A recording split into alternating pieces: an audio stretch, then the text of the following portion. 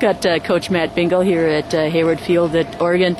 Coach, you've got a, a squad of uh, 14 athletes, but you compete in 16 of the 20 events uh, that'll be contested this weekend. So, a nice uh, team representation for the Gophers.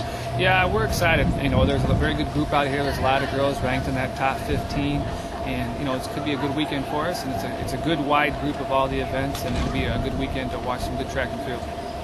This is also a chance for them to be educated a little bit uh, in Oregon and the history of, of track. This, these guys uh, do it nice out here. Yeah, there's a great history of track out here. You know, it's Tracktown USA. Uh, they love they love coming out here and being in this environment. It's just a very special environment to compete in. Uh, Elizabeth Yetzer, one of your uh, fifth year seniors on the team, talked about uh, this day before the meet starts, how exciting it is just to be in this atmosphere. Not that it's Oregon, but just the day before the NCAAs. How do you get your team to just kind of relax and not not get too tight going in?